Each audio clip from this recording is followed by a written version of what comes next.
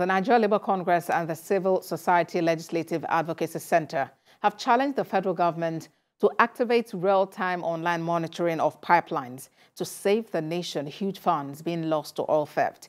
The coalition is also seeking an amendment to the Fiscal Responsibility Act. TVC News Joke Adisa has details.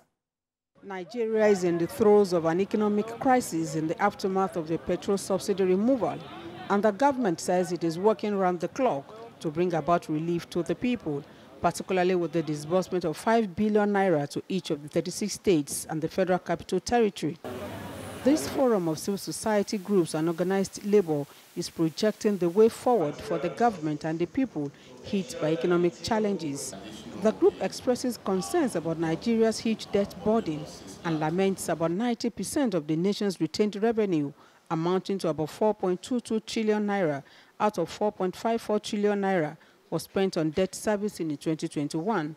It therefore calls for a moratorium on debts particularly foreign. There is need to hold accountable public officers under whose watch industrial scale of oil theft occurred in recent years as a strategy for reducing oil theft and possibly recouping lost revenue. The issue of uh, NLC making a point that the National Assembly have collected some money for their constituency project and that they are demanding apology.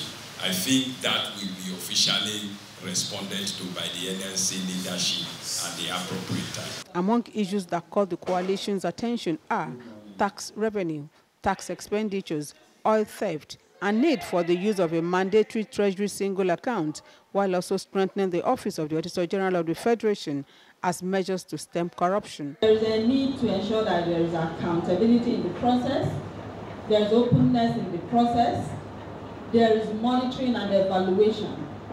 There are questions that media should be asking. Who are those that are benefiting from these incentives?